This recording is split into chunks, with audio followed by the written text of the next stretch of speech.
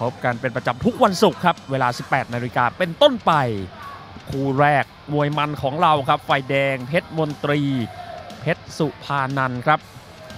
ฝ่ายแดงนะครับ ส่วนฝ่ายน้ำเงินคือประโคนชัยสอสุภาพรครับ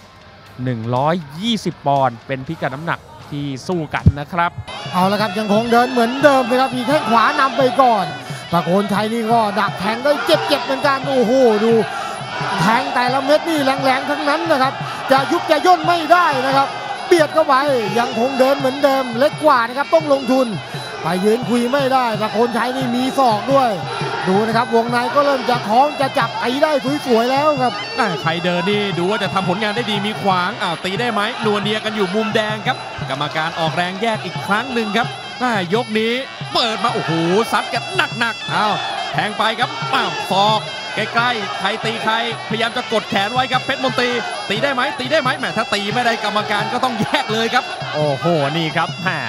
ลูกเกมเป็นการสู้กันนอกกับในแล้วครับ นอกนี่แหมาเพชรมนตรีดุดันแต่ว่าในครับเดี๋ยวดูเวลาอุ้ยอุ้ยดูแกอุ้ยแหมาโยนน่ากลัว เอาละครับมาตามกันต่อในยกทีสี่ 4 นะครับ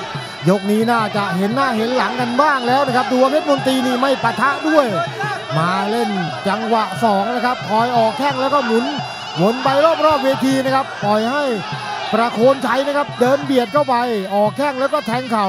แล้วก็ยังทำอะไรได้ไม่ถนัดนะครับ ดูจะช้าลงไปเหมือนกันแม้ว่าจะพยายามเดินเบียดเหมือนกัน ต้องทำให้ต่อเนื่องครับ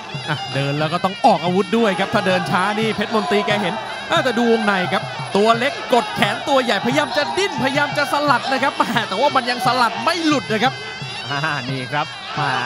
นี่ครับเครื่องติดยันมวยเข่าครับน้ำเงินประโคนชัยมาตอนนี้ต้องเดินเร็วหน่อยครับมาเดินช้านี่มาดูแล้ว เดี๋ยวจะเข้าร่องแข้งฝ่ายแดงครับเพชรมนตรีนี่ครับมาเดินแล้วก็ทำได้ดีนายขวางไว้ขวางไว้เสียบยกยกยกยกประโคนชัยยกตีนี่ครับมาแต่ว่าดูมาฝ่ายแดงแกก็แบะไล่แขนไล่ขาสู้ตลอดเลยครับเรียกว่าไม่ยอมเสียเปรียบเลยนะครับ เพชรมนตรีวงในก็คอยไล่แขนแล้วก็แทงสู้วงนอกนี่มีแข้งขวาแรงๆนะครับขวดเข้าไปดูว่าจะช้าลงไปหรือเปล่านะครับ ต้องเดินให้เร็วนะครับ ประโคนชัยโดนเข้าไปหนักๆอะเบียดเข้าไปเสียงเชียร์ก็ยังรออยู่นะครับ แต่ว่าต้องทำให้ต่อเนื่องครับดูยังไม่ค่อยเป็นชิ้นเป็นอันเท่าไหร่นะครับ ประโคนชัยยกนี้ครับเพชรมนตรีก็พยายามจะสอดแขนชิงความได้เปรียบโอ้โหแม่คอพับคออ่อน แม่แกก้มหัวเป็นให้ช่างตัดผมเลยอะครับ มาแล้วครับยกสุดท้ายประโคนชัยนี่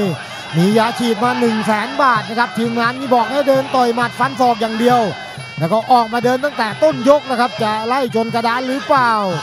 ดูว่าเพชรมนตรีเองก็ไม่ตกใจด้วยนะครับคอยออกแข้งเข้าในก็รวบเอาไว้เลยครับเผาเวลาไปเรื่อยครับแม่แข็งแรงกว่านะครับเพชรมนตรี